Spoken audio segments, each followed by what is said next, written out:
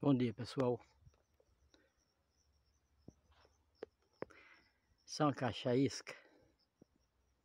Mas eu demorei a passar ela para caixa padrão. E agora ela já cresceu bastante. Eu já está fazendo um segundo enxame o lado de fora.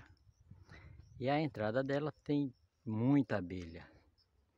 Daqui mais uns 3, 4 dias eu vou estar passando ela para uma caixa padrão. E eu mostrarei para vocês o andamento.